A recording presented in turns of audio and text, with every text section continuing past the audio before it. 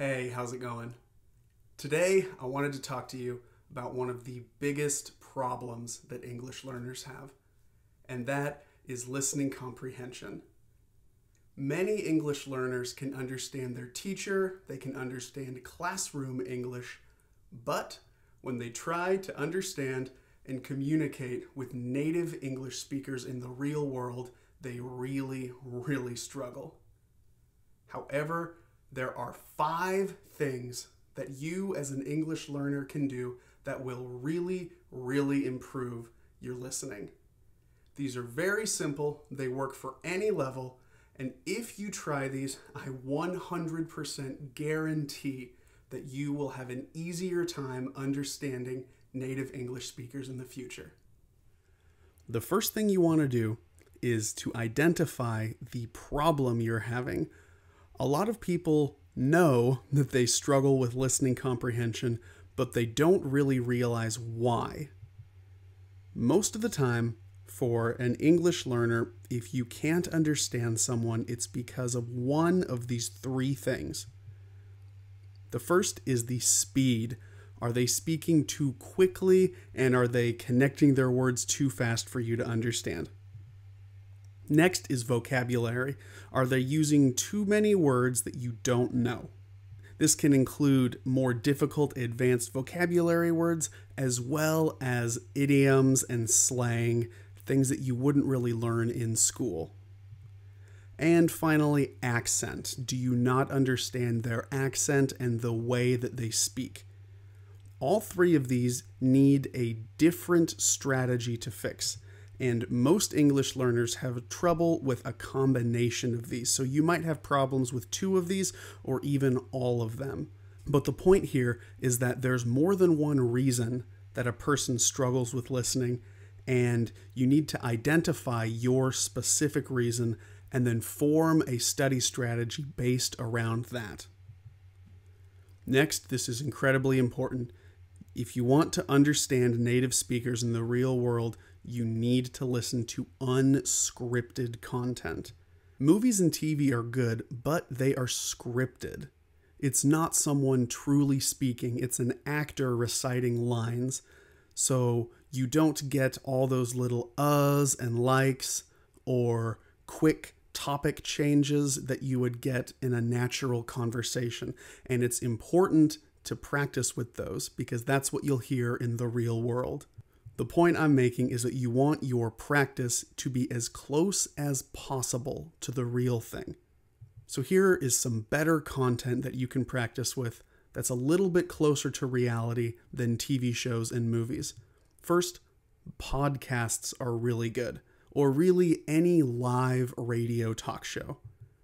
Live interviews and then live conversations and debates are also really good. If you aren't sure where to find this content, I actually have another video where I share three really good listening resources for students.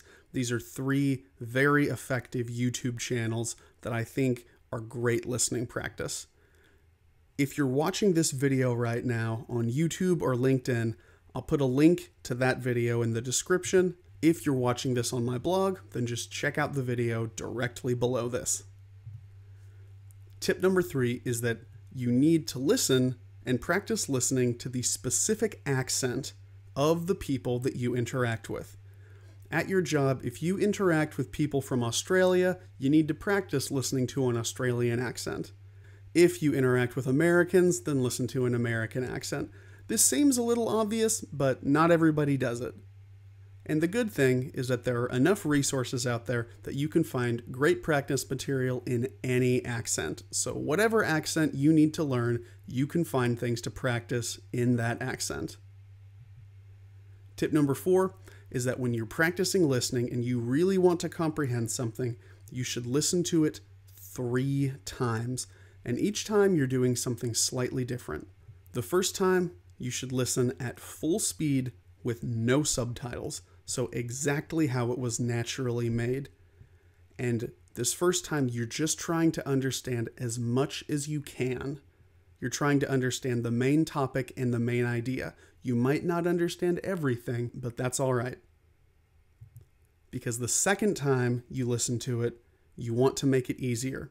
You can adjust the speed to slow it down and or turn the subtitles on. Here the goal is for more complete comprehension. You want to be able to understand all or almost all of the resource after listening to it at a slowed down speed with subtitles. After you feel more confident that you can follow what they say, then you try to listen to it again at full speed, this time really trying to follow along and understand everything. This is a lot more effective than just listening to it once at full speed and then trying something else. And finally, you really should practice summarizing what you're listening to. Do not just listen and sit there silently and just absorb the information. You want to actually practice summarizing what you've heard and even giving your own opinion on it. So, how should you do this? Maybe you're watching a short video on YouTube.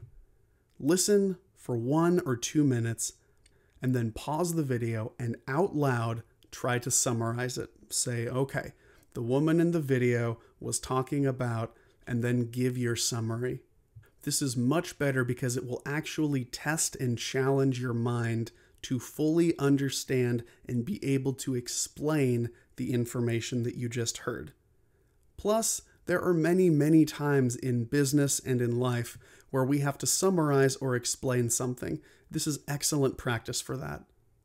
All right, that was the last tip. I hope this was helpful. All right, thank you so much for watching. Have a great rest of your day, and I'll see you in the next video.